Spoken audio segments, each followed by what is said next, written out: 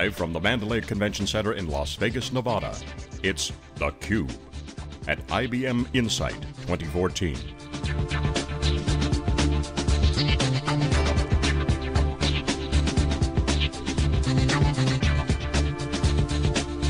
Here are your hosts, John Furrier and Dave Vellante.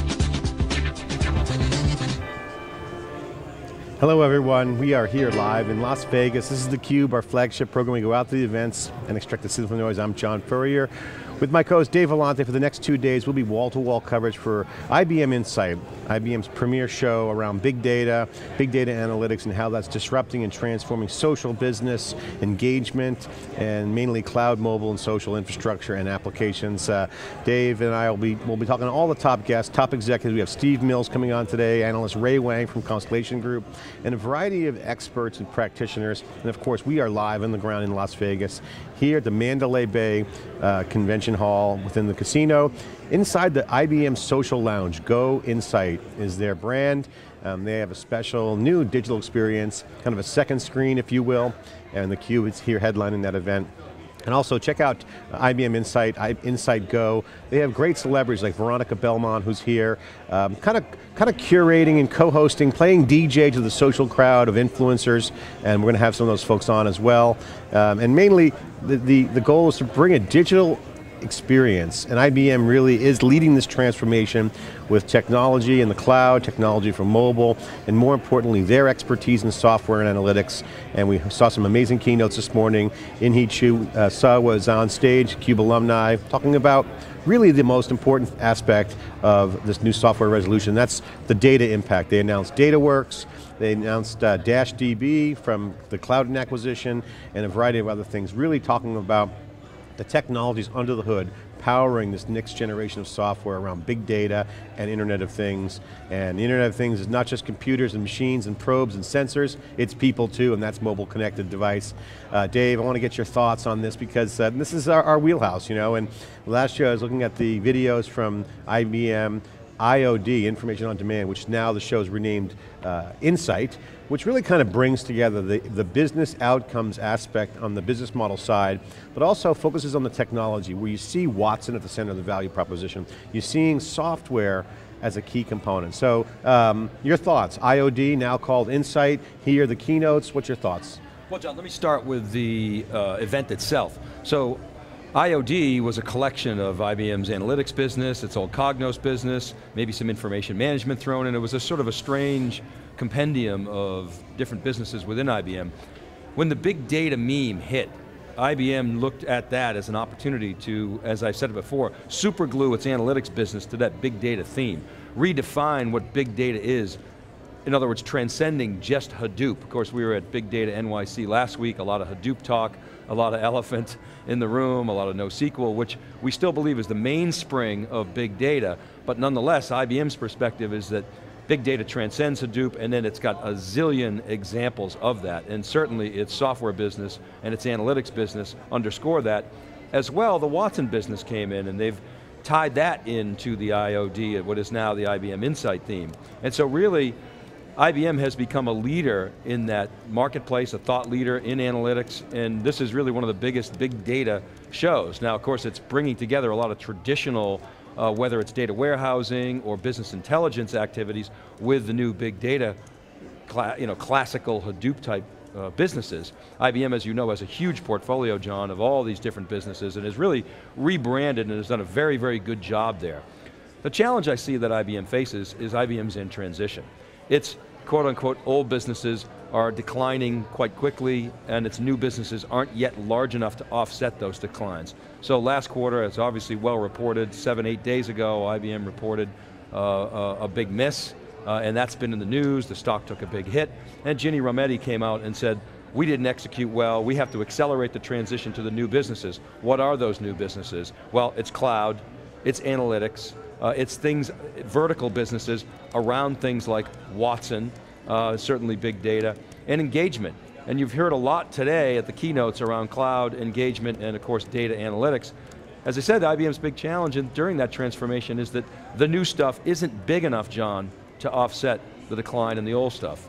Yeah, Dave, I think it's right on it. Let's talk about the IBM situation. Obviously, they got hammered in the news, and yeah, they really took a uh, took it on the chin. And you know, I, I, was commenting on Twitter and on crowd chats that you know, IBM really was unwarranted. I mean, we've been covering a lot of the IBM shows now going on our fourth year here with theCUBE. We've been on the ground. We've been embedded, almost embedded inside IBM during this transformation. We saw them make their moves. Certainly, we just recently reported at, at a recent event around their uh, divestiture of the um, uh, Intel server chips, low-end servers, and really focusing on the Power 8 um, here uh, within IBM.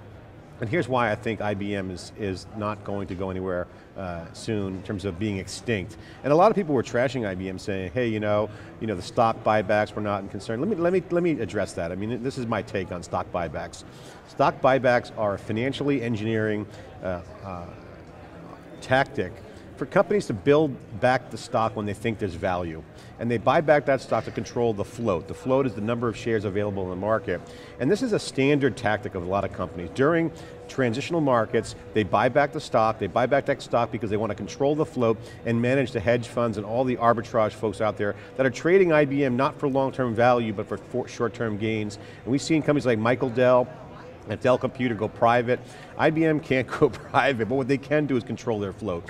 That's a completely separate issue from the fact that IBM has been retrenching in all aspects of their business. And I think certainly the margin uh, expansion question, we've asked Steve Mills that direct question, is a legitimate question. I think that is something that they need to look at, and certainly the cloud technologies puts pressure on those margins, no doubt. However, the companies that will be successful in the future, in our opinion in theCUBE, and through the research we've done at Wikibon, is software drives margins. And that is classic business. Now, they're a little bit late to the game with uh, cloud, they got SoftLayer, they got Bluemix booting up, but they have Watson and they have a very robust, mature software business.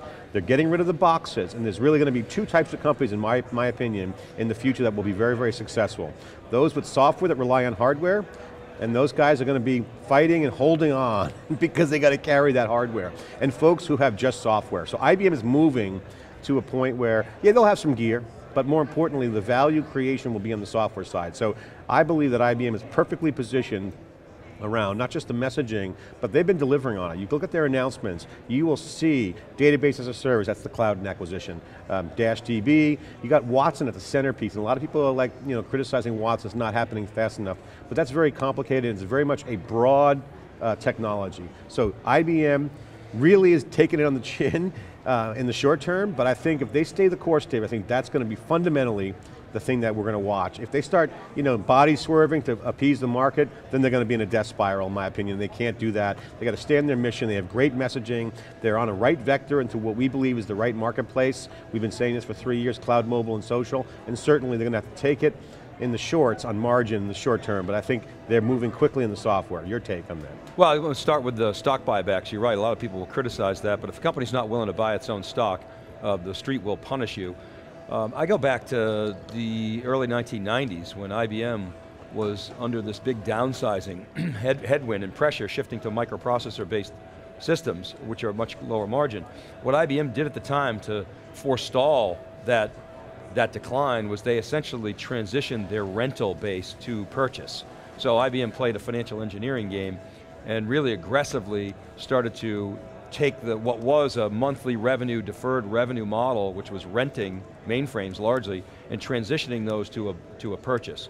Uh, and that took you know, a couple of years, many, many months and over, over a multi-year period, and it was able to keep IBM propped up. It was sort of a, a, financial masking of the decline. And in some ways, IBM did some similar moves with the stock buybacks, very aggressive stock, stock buybacks. Having said that, if you don't buy back your stock these days with your excess cash, the street will punish you. Now, the, the big, and, and you look, of course, John, you look at somebody like Yahoo, where uh, you know Marissa Mayer bought back a lot of stock and that worked out very well. So the question is, will those continue?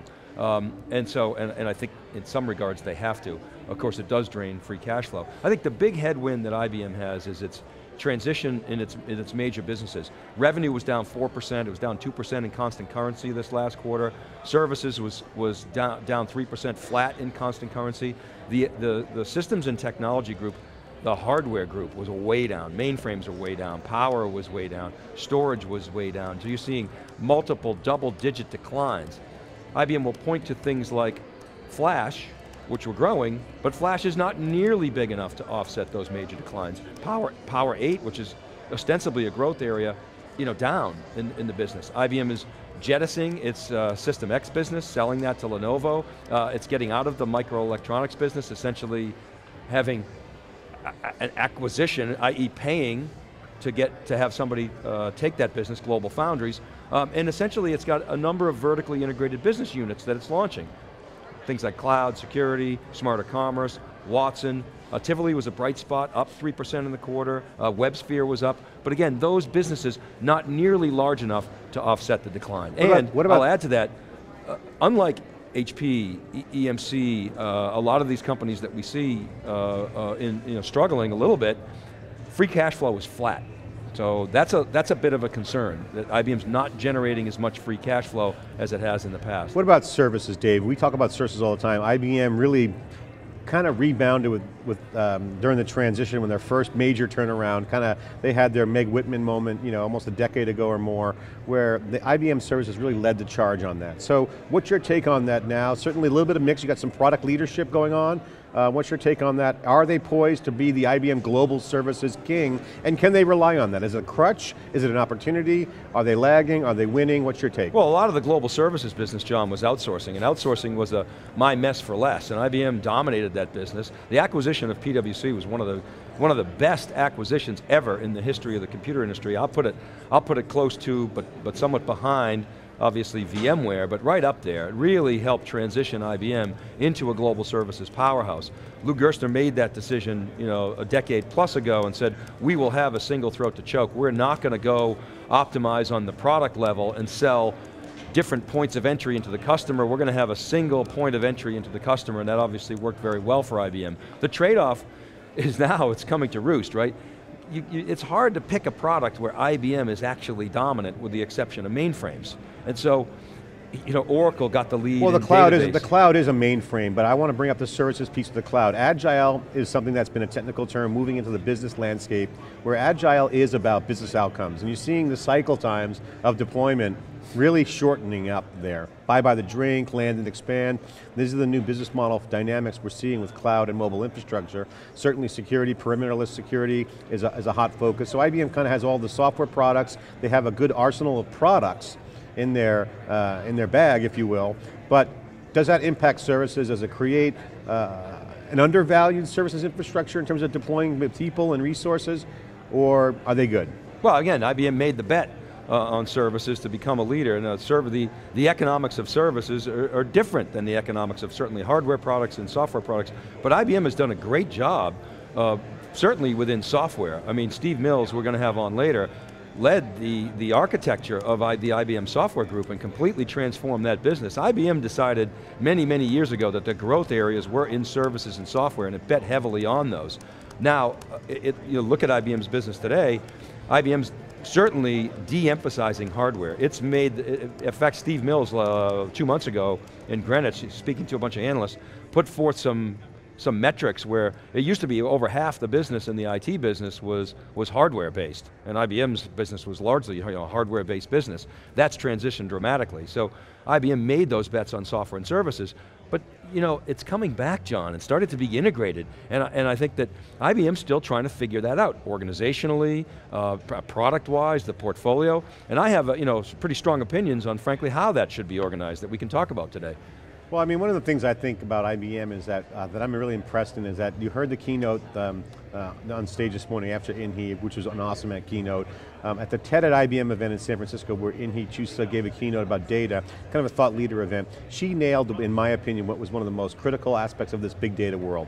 That is active data. Active data is the holy grail for mobile infrastructure, mobile data, having databases as service. These are the kinds of things that are, uh, that are not kind of new concepts, but from a practice standpoint, it's moving from the developer world to the business world.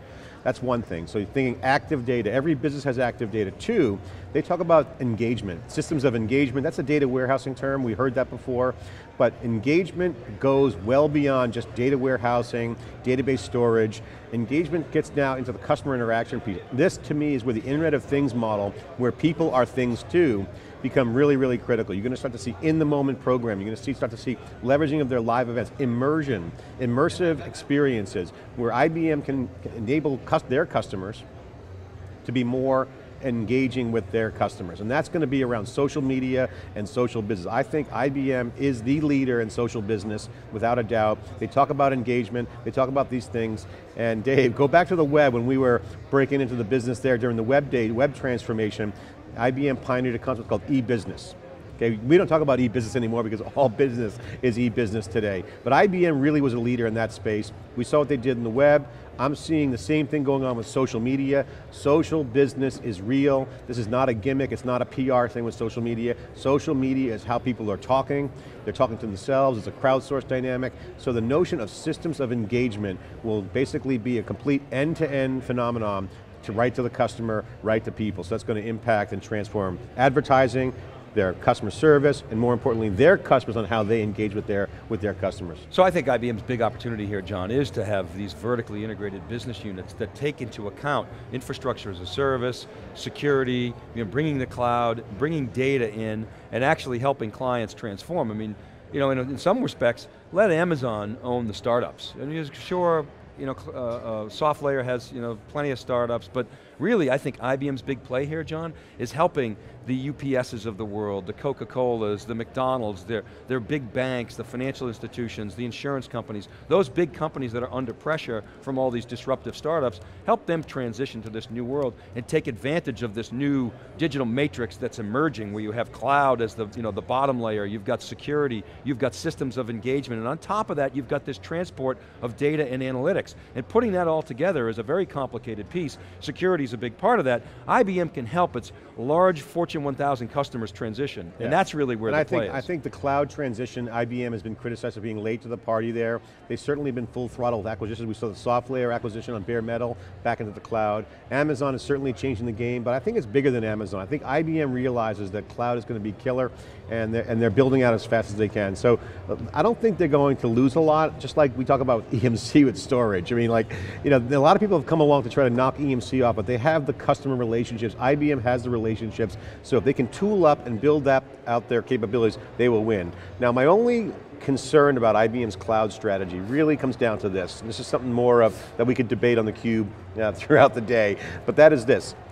IBM, HP, EMC, you name it, they need their own cloud. I mean, I believe that um, we're going to go to a multi-cloud world, permissionless IT, and DevOps kind of ethos driving this new generation. It's going to change the economics, going to change the customer experiences from social engagement to how they roll out their supply chain, et cetera. So, that being said, I believe that IBM needs to own their own cloud. Without a doubt, HP, the big guys, are, are, are must have their own cloud because Amazon has a cloud, they have their own cloud. Because look at OpenStack. OpenStack is clearly consolidating around we don't want a little piece of the pie here. We want building blocks, that's all great, kumbaya, rah rah, but you're seeing the big guys roll in because there's some serious business at stake, and if they don't have their own clouds, Dave, I really believe that they need to, they're going to be out of the well, game. Well, I think they do have their own cloud. The issue to me, John, is top line growth and the enterprise margin premiums, which are, you know, 10x markup over the core technology, whether it's a microprocessor, a disk drive, or some infrastructure as a service. And that's the big challenge for all of these companies. That's, frankly, John, that's why they embrace hybrid cloud, because hybrid cloud is not frankly disruptive to their business model. so the top line growth and the enterprise margin uplift is a real challenge for all of these guys. Well, we're excited to be here live in Las Vegas, the social lounge here. Uh, Insight Go is the location, and we're bringing all the live to live coverage. And Dave, you know, just wrapping up our intro segments, very clear, the trajectory of this business. Customers need to create their own systems to integrate data, always changing data, new data, old data. At the end of the day, the role of the organization and what they deliver to their customer in terms of value is going to come down to how they handle their data and their applications, and that's something that we really care about. We're going to explore more of that here at IBM Insight. We are live on the ground. This is theCUBE, our flagship program. We go out to the events and extract the signal from the noise. I'm John Furrier with Dave Vellante. We'll be right back after this short break.